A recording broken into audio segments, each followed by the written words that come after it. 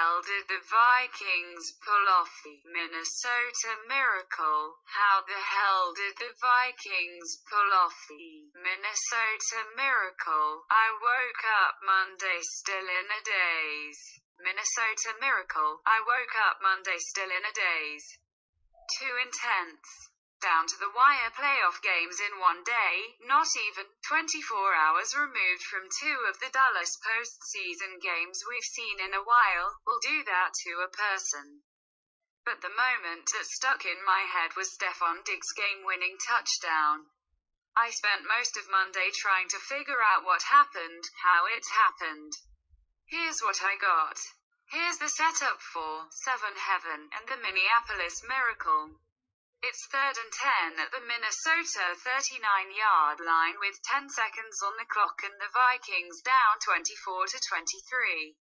All the Vikings really needed to do was to get the ball another down the field far enough for a reasonable field goal attempt, say inside the Saints 35 yard line, for a long one.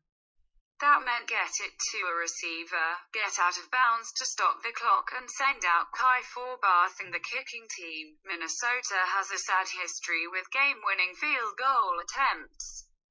But it was the smart play, the play that the Vikings were attempting when they called the seven heaven play, something they've practiced many times before. One receiver on the outside runs seven route down the field and near the boundary.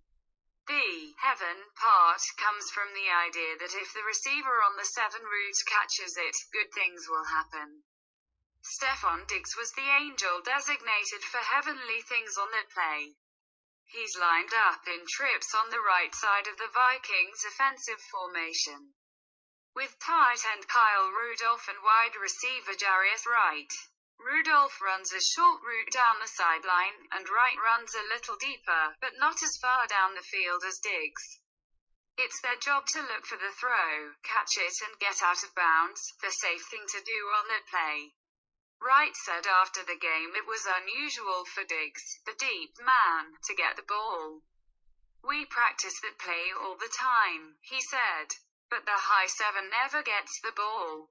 It has never been thrown to that route, as far as I can remember. Not this time. With a little help from the Saints defense, Case Keenum pushed it down the field for the big play. Diggs delivered. The first question that came to mind, how does the Saints defense let that happen? The Saints defense was doing exactly what it wanted, and it was a big mistake.